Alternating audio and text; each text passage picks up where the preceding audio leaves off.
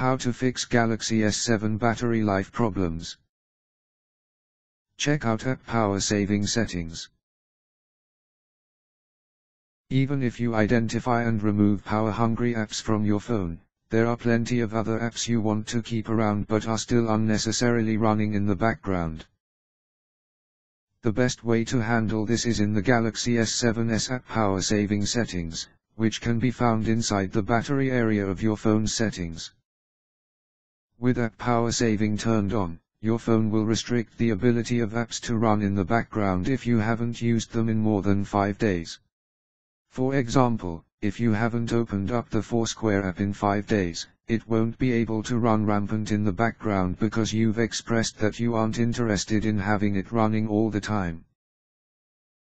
The app will still work when you open it up and that'll reset the counter for it to be optimized again.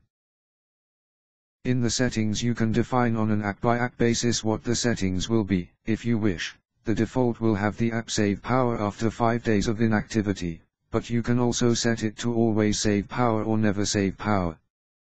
For example, you may want a travel utility like the American Airlines app to always be able to run for flight updates, even though you may not open it every 5 days.